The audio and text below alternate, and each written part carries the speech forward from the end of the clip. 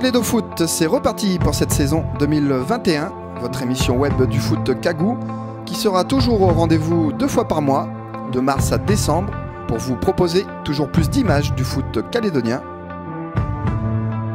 Au programme pour ce premier numéro de la saison du football féminin, avec l'Académie féminine FCF, qui faisait sa rentrée aux 6 de Coucho c'était le dimanche 21 février dernier. Calédo Foot qui a également suivi du handi-foot, un projet football et handicap mis en place par la FCF en collaboration avec l'association des parents d'enfants handicapés. Et pour finir, on fera un petit tour avec nos arbitres de Super League qui eux aussi préparent la reprise de la saison. Le Centre international sport et expertise de Nouvelle-Calédonie sera de nouveau le camp de base de la troisième promotion de l'Académie féminine de la FCF Âgés de 15 et 16 ans, notre vingtaine d'apprentis footballeuses faisaient ainsi leur rentrée le dimanche 21 février dernier à travers ce projet pilote océanien, un projet lancé par la FIFA au niveau des six confédérations de football. Chaque fille aura aussi reçu une dotation Canal+, partenaire officiel du football féminin calédonien. Le tout en présence forcément du président de la FCF Gilles Tavergeux, du président du CTOS Christophe Dabin et également de l'adjointe au sport de la ville de Dombéa, Madame Sylvie Touiani et également était présent le directeur de Canal Plus Calédonie, Franck Carpentier, satisfait de pouvoir à nouveau soutenir cette belle aventure.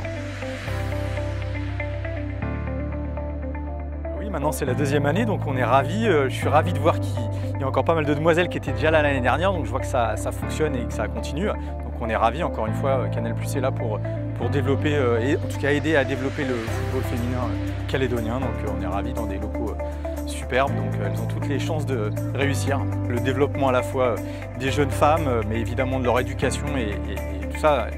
Le président le disait, hein, c'est pas facile de devenir professionnel, donc l'éducation est évidemment importante. Et en plus, si elles peuvent devenir professionnelles, ce sera formidable. Et encore une fois, calédonienne, ça fera plaisir de les voir progresser. Canal Plus, c'est évidemment football.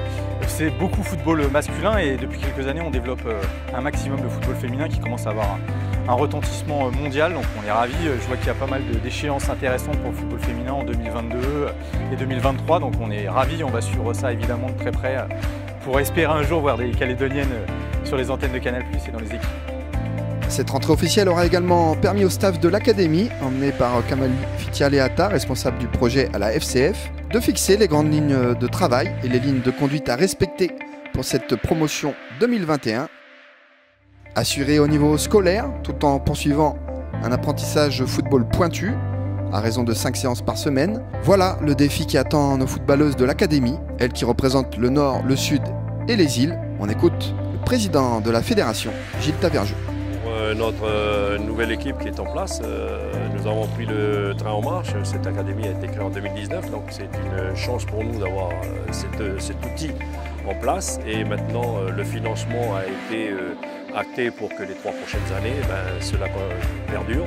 Donc euh, il faut voir ça du, bon côté et euh, surtout euh, essayer d'amener les trois comités à développer encore plus cette pratique. C'est comme dans tout projet, il faut avoir des, objectifs et nous, notre objectif dans ce projet, il est double. C'est un, le projet scolaire d'abord, puisqu'il faut ces jeunes filles s'épanouissent. Et deuxièmement, ben, si on peut y adjoindre le football, c'est encore mieux. Et pour nous qui représentons le football, dirigeant le football, eh ben, c'est une très très belle opportunité que cela puisse faire et que maintenant nous essayons de pérenniser.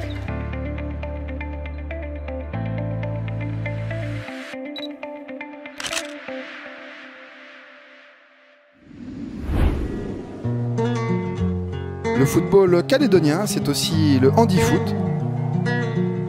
Sous l'impulsion de Charlotte Pelletier, conseillère technique à la FCF, et de Yann Montassier, moniteur éducateur de l'association des parents d'enfants handicapés, la PEH, ainsi que le football a été mis en place durant les dernières grandes vacances, des séances foot en faveur d'un public souffrant d'handicaps variés.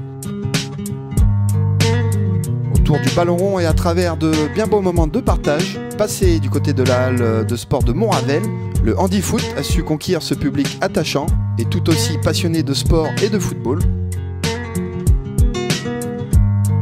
écoute un des pratiquants du handi-foot, Johan Biet. Bonjour, je m'appelle Johan, j'ai 34 ans. Et ça fait, ça fait 20 ans que je suis à la PEH. Et euh, j'ai découvert le foot fauteuil à la PEH. En fait, euh, c'est une naissance. Je suis né trop tôt. Je suis né à 6 mois. 6 mois pile. 6 mois et demi. Et euh, j'ai manqué d'oxygène dans mon cerveau.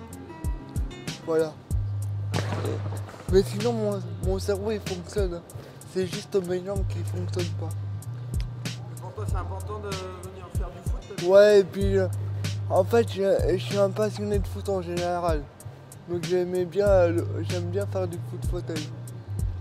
Et mon équipe favorite, c'est le Paris Saint-Germain. Tu regardes souvent à la télé Ouais, ouais, voilà. Ah oui, j'aime bien le football, moi. Quand Yann il m'a dit on va faire du foot, j'ai tout de suite dit oui. Pour... Déjà pour tester parce que je ne connaissais pas. Et puis euh, voilà, et puis j'avais envie de tester. Alors là, aujourd'hui, si tu peux me présenter, vous avez fait quoi en fait? Euh, Aujourd'hui, on a fait du slalom. On a, on a essayé de mar- Moi, j'ai essayé de marquer un but. Euh, fallait toucher un plomb et j'ai réussi. Et là, on va faire un match de foot. Un petit match de foot. Toi, tu joues quel poste alors Euh, je me déplace beaucoup. Ah, Y a- Ouais, il n'y a pas de poste euh, attribué à chacun, on se déplace beaucoup. Et surtout, ce que ça fait travailler, ça fait travailler la communication entre nous. Et c'est important, parce qu'il y a des objectifs derrière. C'est important de communiquer entre nous et de se découvrir aussi. Également conquise euh, par le football, Batsheba Naou nous fait part de ses impressions accompagné de son moniteur éducateur en charge du projet, Yann Montassi. Je m'appelle Naou Ba- Batseba. Yann Montassier, moniteur éducateur à l'APEH, euh, service d'accueil de jour depuis 4 ans. En fait, c'est ça, le public qu'on peut accompagner, hein, Batsheba et les autres d'ailleurs, on essaie de- au maximum de les faire euh, découvrir de nouveaux domaines.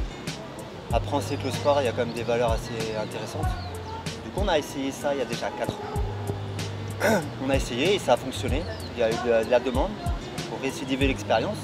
Et du coup, maintenant, c'est quelque chose qui est venu assez euh, formalisé en fait, hein, annuellement. On essaie à chaque fois de relancer ça. Ça a bien pris. Et nous avons fait euh, le tir au but et faire tomber les plots. Très. Nous, on arrive à trouver des objectifs ici à travers le foot. hein. Les valeurs que ça a, c'est ce qu'on peut trouver en société.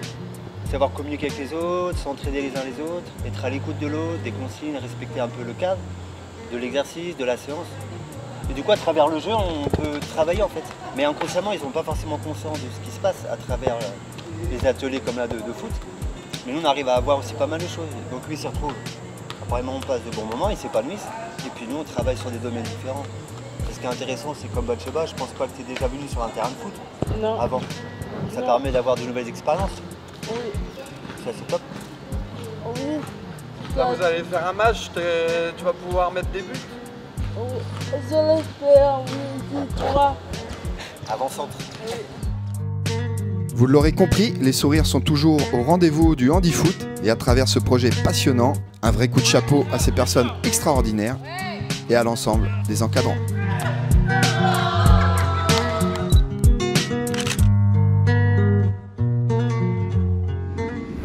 La chaleur était étouffante sur le terrain synthétique du 6 de Cuccio, où l'on retrouvait fin février une partie de nos arbitres de Super League stage de préparation d'avant-saison, le tout sous la hullette des formateurs FCF, Marius Gaillecoin et Bertrand Brial. Oui, on a fait euh, une petite partie physique pour que chaque candidat puisse savoir euh, au, plan physique où est-ce qu'il se situe. Et puis après, là, on est en train de travailler sur du placement, donc euh, autant pour les centraux que pour les assistants. Et puis après, on fera encore des exercices de prise de décision, c'est-à-dire on fera des fautes et il faudra déterminer si elles sont dans la surface ou à l'extérieur de la surface et quel carton on devra donner en fonction de la faute commise.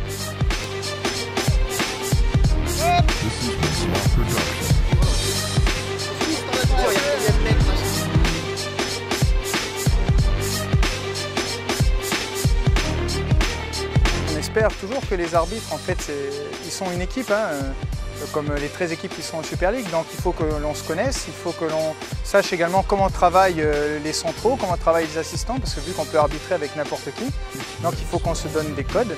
Et pour ça, il faut qu'on soit soudés, il faut qu'on se connaisse, il faut qu'on prenne du plaisir à arbitrer ensemble. Ce qui ferait que lorsque l'on arbitrera des matchs, ça se verra sur le terrain, les spectateurs verront, le coach aussi, et les joueurs verront que c'est une équipe d'arbitres qui est là et pas trois arbitres qui ne se connaissent pas. Il y a une faute à ce moment-là? Elle est dedans ou elle est dehors? Ah non, non, non. Non, non. C'est à toi de décaler justement un tout petit peu.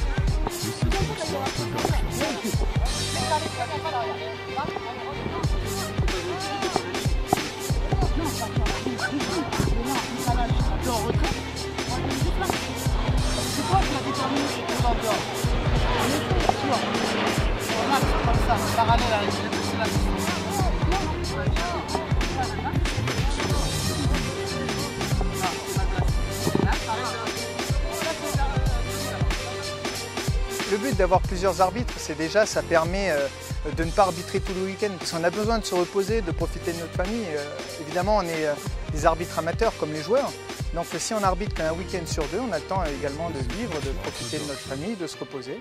Donc il faut qu'on soit plusieurs arbitres. Et plus on sera d'arbitres, plus il y aura également la, qualité au niveau de l'arbitrage et ça sera mieux pour le championnat calédonien. Même si journée, ça va être très long. En effet, plus la coupe, donc oui, ça va être long.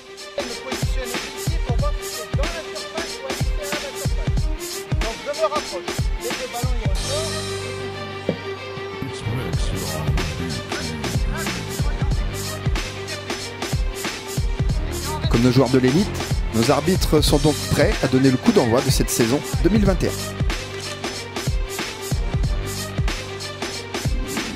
Voilà, c'est déjà fini pour ce premier numéro 2021 de Calédo Foot, votre émission web du foot Cagou. On se retrouve courant mars et n'oubliez pas d'ici là toutes les vidéos du foot calédonien qui sont à voir et à revoir sur la chaîne YouTube FCF TV. Ciao à tous